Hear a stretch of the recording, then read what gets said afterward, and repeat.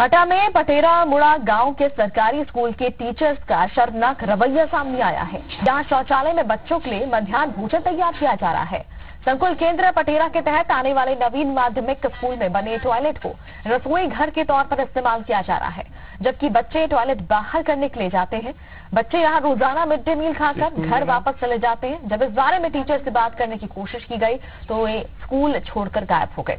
भोजन बनाने वाले रसोईया शकीला ने बताया कि शिक्षकों के कहने पर ही वे यहाँ खाना तैयार करती है।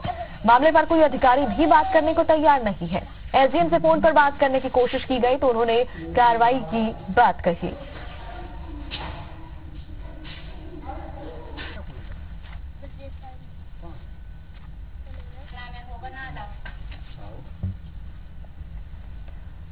बैतूल निवासी